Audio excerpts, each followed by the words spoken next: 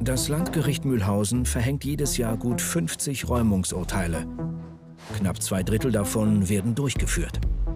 In den anderen Fällen einigen sich Vermieter und Schuldner vor dem Räumungstermin. Im heutigen Fall allerdings erscheint die ehemalige Mieterin nicht einmal, während ihre Wohnung ausgeräumt wird. Wenn sie kommt, findet sie eine verschlossene Tür, weil das Schloss gewechselt ist. Die Wohnung ist leergeräumt, die ist besenrein. Sie kann sich dann bei mir melden, damit sie sich ihre Sachen wieder abholen kann. Ansonsten, wenn sie woanders hin ist, muss ich halt gucken, dass ich sie wiederfinden kann. Über die Daten vom Einwohnermeldeamt am besten. Denn trotz Räumung ist die junge Frau nicht von der Pflicht befreit, ihre Schulden zurückzuzahlen. In Mannheim steht für Frank Theis heute ebenfalls eine Zwangsräumung an. Der Gerichtsvollzieher soll die Wohnung an den Vermieter übergeben, allerdings ohne sie zu räumen. Um Vorwürfen, dass etwas entwendet wurde, zu entgehen, begleiten ihn zwei Zeugen. Heute sind Spediteurin Rina und Sicherheitstechniker Christian dabei. Außerdem warten zwei Gläubigervertreter vor Ort. Wollen wir mal anfangen? Schon jemand geklingelt? Wahrscheinlich nicht. Nee, ich mal eben. Wir klingeln jetzt erstmal beim Schuldner, um festzustellen, ob er zu Hause ist und eventuell freiwillig öffnet. Falls nicht, haben wir eventuell einen Schlüssel dabei. Für die Haustür haben wir einen Schlüssel, für oben nicht. Dafür haben wir den Schlosser dabei. Der macht uns dann die Tür auf und dann schauen wir weiter. Oh, es ist aber jemand da. Die Schuldner, eine Familie mit kleinen Kindern, haben seit Monaten keine Miete gezahlt. Schönen guten Tag. Frau Heute ist Räumungstermin. Heute ist Räumungstermin. Sie müssen heute aus der Wohnung raus. Warum sind Sie denn noch da? Okay. Die Schuldnerin möchte nicht erkannt werden. Noch ist sie nicht ausgezogen. Hinter verschlossener Tür macht Frank Theis ihr klar, dass sie jetzt gehen muss. Ja, aber warum sind Sie noch hier? weil jetzt machen wir Rest, der Arbeit. Heute Morgen ziehen Sie aus. Deswegen haben Sie ja den Termin. Um 9 Uhr ist die Wohnung zu räumen. Da brauchen wir nicht reden. Der Gerichtsvollzieher telefoniert mit dem Freund der Mieterin.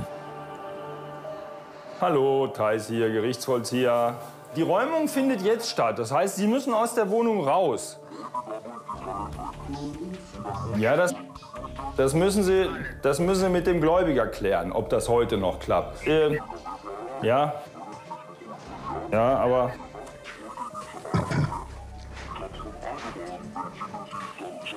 Ja, das ist, das, ist, das, ist, richt- das ist richtig. Aber es ändert nichts an der Tatsache, dass jetzt die Räumung stattfindet.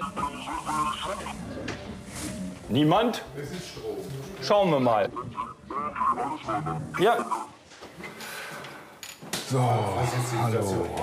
Äh, die Situation war so, dass äh, die Schuldner dachten, sie hätten jetzt noch Zeit, äh, die Wohnung zu räumen. Wollten das bis heute Nachmittag um 17 Uhr noch durchführen, aber Räumungstermin ist 9 Uhr und deswegen ziehen wir das jetzt durch. Sie müssen die Wohnung verlassen, können allerdings einen Termin noch machen mit einem Gläubiger, um dann später die Sachen abzuholen. Also dazu haben Sie vier Wochen Zeit ab heute und dann schauen wir mal. Jetzt ist auf jeden Fall erstmal Ruhe. Wenn ich die Fälle, die ich erlebe, an mich ranlassen würde und mit nach Hause nehmen, dann wäre ich nach zehn Jahren kaputt.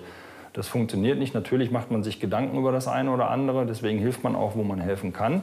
Aber das alles zu seinen eigenen Problemen machen, dann wäre das der falsche Beruf. Dann könnte ich es nicht.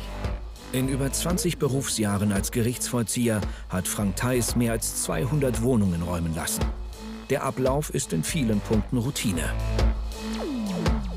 Ich schaue mir jetzt die Wohnung mal an. Erstmal so der erste Augenschein, was noch alles so in der Wohnung ist. Es wird aber auch noch äh, fotodokumentiert und auch aufgenommen ins Protokoll, damit halt nicht hinterher heißt, oh, ich habe noch, keine Ahnung, Gold hier liegen gehabt oder ein Rembrandt oder sonst irgendwas. Also das ist jetzt die erste Bestandsaufnahme sozusagen. Hier ist gar nichts drin. So, ihr könnt jetzt anfangen von mir aus hier. Macht so, macht so viele Fotos wie möglich, weil der Schuldner vorhin gesagt hat, er hat noch wertvolle Sachen hier drin. Ja, keine Ahnung. Ja, deswegen, ich bin dann nur sensibilisiert dafür, dass man halt genauer hinschaut. Ja. Äh, vielleicht sind das alles echte Brillanten da im Spiegel. Oder? Ich bin mir nicht ganz sicher. Genau, richtig. so, so machen wir das. Jetzt kommen die Zeugen, Spediteurin Rina und Sicherheitstechniker Christian zum Einsatz. Sie fotografieren und dokumentieren alle beweglichen Gegenstände. Ist die Beweisaufnahme abgeschlossen, wird das Schloss der Wohnungstür ausgetauscht. Den Schlüssel bekommt der Vermieter. Das ist bei den Schuldnern nicht immer gern gesehen. Also ich habe noch nie ein Problem gehabt. Mein Kollege hat schon einen etwas größeren Hund hinten dran gehabt. Aber das war es eigentlich soweit. Normalerweise müssen die anderen Angst haben, wenn du kommst, ne? Richtig. So, die frisst sie alle auf. Bei solchen Einsätzen hatte ich erst einmal einen Fall, wo sich dann jemand körperlich gewehrt hat. Man weiß nie so genau, was kommt. Ähm, wenn man Öffnung macht bei Verhaftungen und so weiter, denke ich, ist die Gefahr ein bisschen größer. Aber auch da ist bisher noch nie wirklich was passiert. Obwohl tatsächlich immer wieder mal was passiert, mir bis jetzt noch nicht. Auch diese Räumung verläuft ohne Zwischenfälle. Die Mieterin und ihr Kind haben das Haus mittlerweile verlassen. Sie können ihr Eigentum in Absprache mit dem Vermieter noch am Nachmittag abholen. Auch in Mühlhausen in Thüringen steht eine Zwangsräumung an. Die Zwei-Zimmer-Wohnung soll leer an den Vermieter übergeben werden. Für Obergerichtsvollzieher Thomas Riesner ist auch hier ungewiss, wird er die Schuldnerin antreffen oder ist sie längst über alle Berge? Hallo. Guten Tag, Riesner. Weiter. Hallo. Gläubiger Vertreter und ein Schlosser begleiten Thomas Riesner. Wollen wir mal gucken. Ob die Schuldnerin öffnet? Falls nicht, bricht der Schlosser die Tür auf. Es regt sich nichts. Ich bin bereits angekündigt, aber es sieht so aus, als wenn niemand zu Hause wäre. Das ist häufiger so, dass jemand nicht zu Hause ist, wenn ich zur Zwangsräumung hier auftauche oder prinzipiell auftauche. Gut, gehen wir mal gucken. Im dritten Obergeschoss. Die 33-jährige Mieterin hat zehn Monate lang keine Miete gezahlt. Inklusive der Verfahrenskosten sind 2200 Euro Schulden aufgelaufen. Ob sie vielleicht doch öffnet und sich so weitere Kosten erspart? Der Strom ist offensichtlich abgestellt, die Klingel funktioniert nicht, es hört niemand. Ich denke, es ist niemand zu Hause. Das heißt, der Schlosser öffnet die Tür. Ich habe damit letztendlich kein Problem. Die Leute wissen vorher, sie haben letztendlich einen Vollstreckungsbescheid kassiert. Sie sind verurteilt worden, wo sie letztendlich eindeutig darauf hingewiesen worden sind, dass sie zu zahlen haben. Wenn er das nicht tut, muss er letztendlich mit der Konsequenz leben, dass ich vor seiner Tür stehe. Bitte schön. Danke. Oh, hier riecht sehr streng. Scheint schon immer niemand mehr drin gewesen zu sein. Aber die Reste hat sie hier stehen lassen. Sie selber ist weg, aber hat alle Reste hier gelassen. Die Mieterin hat die Flucht ergriffen. Kein Einzelfall. Was von ihren Hinterlassenschaften wohl den strengen Geruch verursacht? Oh, wir müssen Fenster aufmachen. Boah, stinkt ja fürchterlich. Es riecht nach Abfluss, oder? Es hat hier auch ein Terrarium. Die Siphons sind trocken. Aber scheint nichts drin zu sein. Außer es liegt was unter den Steinen. Na, hoffentlich ist nichts mehr drin. Es wäre nicht das erste Mal, dass ein Mieter sein Haustier zurücklässt. Doch, da oben. Da oben sitzt was. Dann müssen wir die Tierrettung anrufen. Wer weiß, ob das noch lebt. Doch, das lebt noch, hat sich gerade bewegt da hinten. Eine Echse. Ein Gecko ist es nicht. Echse, Echsenart. Scheint auch die einzige zu sein. Ja, kein Wasser mehr drinnen, nur noch Reste vom Essen. Wie in einem solchen Fall empfohlen, ruft der Obergerichtsvollzieher die Polizei. Riesner Gerichtsvollzieher vom Amtsgericht, guten Tag. Ich bin bei einer Zwangsräumung hier in Mühlhausen am. Äh, ich habe ein Terrarium gefunden, da ist eine Echse oder sowas drin. Äh, ich bräuchte da jemanden von der Tierrettung oder vom Tierheim. Können Sie mir da weiterhelfen? Das kann ich Ihnen nicht sagen. Auf jeden Fall lebt sie noch. Die ist so 20, 30 Zentimeter lang, braun gestreift. Auf jeden Fall lebt sie. Und ich kann auch nicht sagen, ob noch mehr Viecher da drin sind. Ich bedanke mich. Gut, ich habe jetzt die Polizei angerufen. Die schickt mir die Tierrettung, die sich dann letztendlich um das Tier kümmern werden. Denn ich kann nicht das richtig sagen, was das überhaupt ist. Ich habe schon mal einen toten Hund gefunden, der leider verdurstet oder verhungert war. Das ist natürlich nicht in Ordnung, wenn einer seine Tiere zurücklässt. Dann soll er sie Ja. vielleicht doch lieber ins Tierheim bringen. Ja, das stimmt definitiv. Ich meine, die Tiere können ja nichts dafür, ne? Das ist letztendlich Tierquälerei, das ist Ja. ein Straftatbestand. Gut, die Polizei ist informiert, die wird jetzt die Tierrettung schicken und dann wird die letztendlich weitersehen. Und so lange kann die Wohnung nicht verschlossen werden. Thomas Riesners Zeitplan gerät aus dem Takt. In Mannheim ist Gerichtsvollzieher Frank Theis währenddessen mit einem Zwangsvollstreckungsbescheid unterwegs zu einem Schuldner. Jetzt habe ich hier einen Auftrag, da ging es um Warenlieferung, die nicht bezahlt wurde. Auch wieder so 360 Euro. Ein, ein Herr diesmal. Ja, dann müssen wir mal schauen, ob er nicht vielleicht doch zahlen möchte. Parfümerie Douglas. Wer gut riecht, kann auch zahlen. So, steigen wir mal aus. Konsumgüter, die auf Pump gekauft werden, sind einer der häufigsten Gründe, warum Menschen in die Schuldenfalle geraten. Wo haben wir ihn denn? Da ist er doch. Äh, so wie ich das gesehen habe, ist das hier so eine größere Bestellung bei der Parfümerie Douglas gewesen. Mehrere Kleinigkeiten, aufsummiert kommen wir dann über 300 Euro. Aber offensichtlich vergessen zu zahlen. Und deswegen müssen wir mal dran erinnern. Eine teure Erinnerung. Denn Mahn- und Gerichtskosten muss der Schuldner zahlen. Ich finde das immer ganz eigenartig. Die meisten sagen, sie sind arbeiten. Aber das mit den Rechnungen funktioniert nicht so richtig. Nee, da haben wir wieder keine, keine Chance. Ein letzter Versuch. Frank Theis klingelt bei einer Nachbarin. Ja, schönen guten Tag. Ist mein Name, Gerichtsvollzieher. Ich möchte eigentlich zum Herrn. Wissen Sie, ob der zurzeit. Soweit ich weiß, waren die oder sind die letzten im Urlaub. Ah, alles klar, also schon länger nicht. Ja, noch länger nicht. Aber nicht ausgezogen. Okay, okay. Wunderbar, danke. Ja, wie ich befürchtet habe, ist der Schuldner im Urlaub. Äh, Das Wetter passt, der Geldbeutel anscheinend auch. Nur die anderen müssen aufs Geld warten. Äh, Ich werde dann versuchen, in vielleicht zwei, drei Wochen noch mal den Schuldner zu besuchen, beziehungsweise einen Termin zu vereinbaren, ihm den schriftlich mitzuteilen, dass er sich mal zu mir ins Büro begibt. Weil so komme ich jetzt erstmal nicht vorwärts. Auch wenn Frank Theis oft mehrere Anläufe nehmen muss, bis er die Schuldner antrifft, Gerichtsvollzieher ist sein Traumjob. Während der Beruf früher nur über eine Weiterbildung erlernt werden konnte, gibt es heute auch einen Bachelorstudiengang.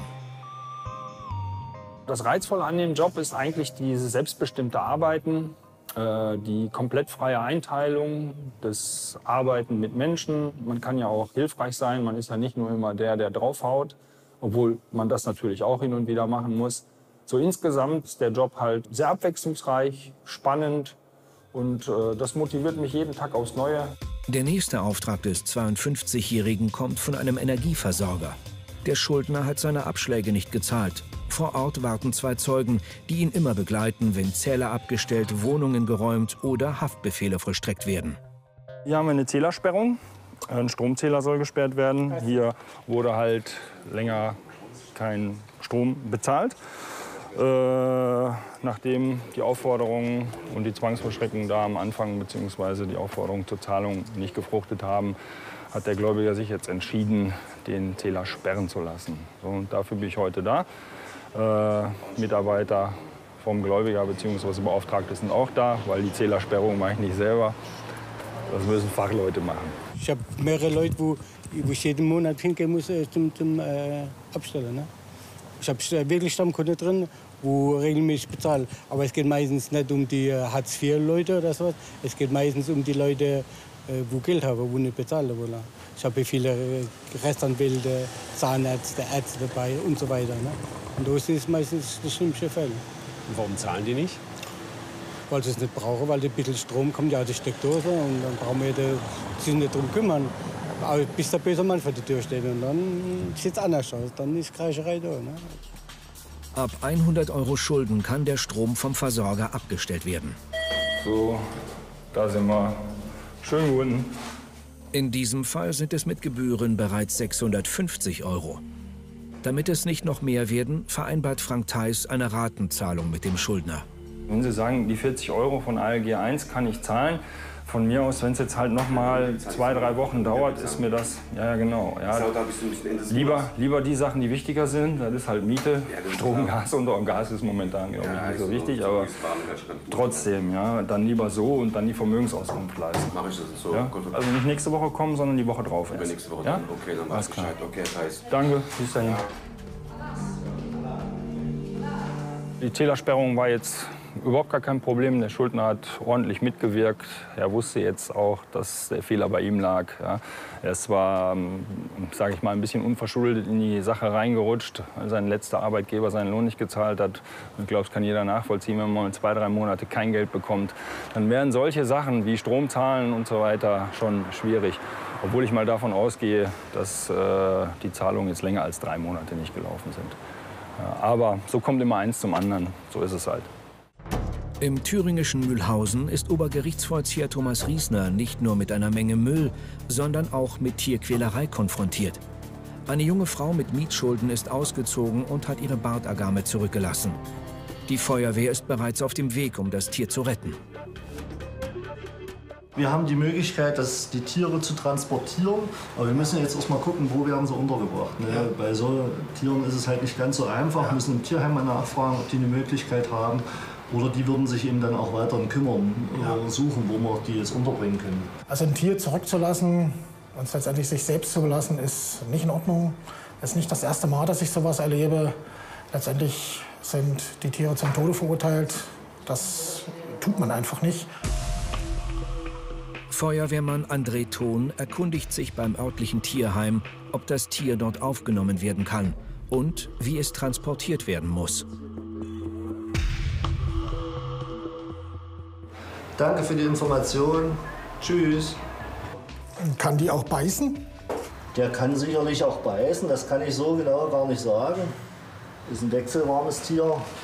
Wir werden recht vorsichtig damit umgehen, jetzt ein paar Handschuhe anziehen und den behutsam dann umsetzen in den Behälter. Gut. Für André Thon gehört auch die Rettung verlassener Tiere zum Alltag. Leider. Entsprechende Hilfsmittel wie Kescher, Handschuhe und Boxen hat die Feuerwehr in der Regel dabei. Also wir gucken jetzt noch mal, wie es ihm geht. Augenscheinlich sieht er recht gut aus. Die Kollegen im Tierheim werden sich dann um ihn kümmern und werden sicherlich dann auch noch mal einen Tierarzt zur Rate ziehen. Der wird auch gleich mit Wasser und Futter versorgt, damit er wieder ein bisschen vernünftig leben kann. Die Bartagame ist gerettet. Jetzt nehmen Thomas Riesner und Linda Weingart, die Vertreterin des Vermieters, die restliche Wohnung genauer in Augenschein. Manche lassen wahrscheinlich nur noch den Müll da, den sie wirklich nicht mehr brauchen oder wo sie der Meinung sind, sie benötigen es nicht mehr. Und nehmen nur noch ihr Hab und Gut, was sie vielleicht in die nächste Wohnung mit reinnehmen können mit. Ja, und den Rest dürfen wir uns dann kümmern. Die Frau scheint abgehauen zu sein, weil sie wahrscheinlich den Räumungstermin gelesen hat oder mitbekommen hat und sich auch wieder den Konsequenzen entziehen möchte. Letztendlich wird ihr das nicht gelingen. Es ist eine Frage der Zeit. Da finden wir letztendlich alle wieder. Weil sich letztendlich jeder melden muss, um eben seinen Lohn, seine Rente, sein äh, Geld vom Arbeitsamt zu bekommen. Deshalb ist es eine Frage der Zeit, dass man ihn wiederfindet. Die verwertbaren Reste werden auch hier wieder eingelagert, so wie es beim Urteil sofortige Räumung üblich ist. Mehr als einmal hat die Hausverwaltung versucht, diesen Ausgang abzuwenden. Ich glaube, dagegen kann man nichts tun. Wenn die Leute sich einfach strikt wehren, zu zahlen, haben wir halt nur die Möglichkeit anzuschreiben, zu bitten, einen Wohnungsbesuch vielleicht auch vorab zu machen. Aber man weiß ja, wenn die nicht aufmachen, dann kann man nichts tun. Dann bisschen einem die Hände gebunden. Ja. Alles, was dem Gläubiger dann bleibt, ist sein Recht beim Gericht einzuklagen. Und das wird für den Schuldner immer teuer. Zurück in Mannheim. Frank Theis ist mit einem Zwangsvollstreckungsauftrag auf dem Weg zu einem Geschäftsinhaber. 2500 Euro für eine Warenlieferung sind offen. Der Gerichtsvollzieher kennt den Schuldner. Er war bereits bei ihm, um das Geld für andere Gläubiger einzutreiben. Wird der 52-Jährige heute den Großteil der neuen Schulden einkassieren können? Ich, eigentlich muss ich mich hier nicht umgucken. Ich kenne mich hier sehr gut aus mittlerweile. Das ist ein Zwangsvollstreckungsauftrag gegen eine Firma. Hallihallo. Da ist mein Name, Gerichtsvollzieher. Äh, die GmbH, da bin ich ja hier richtig. Ist da jemand verantwortlich? Ich bin der Ehemann von, von Herrn. Ähm, Ach, vom ja, Sie kennen. Ja, ich stehe hier nicht so beschissen. Ja.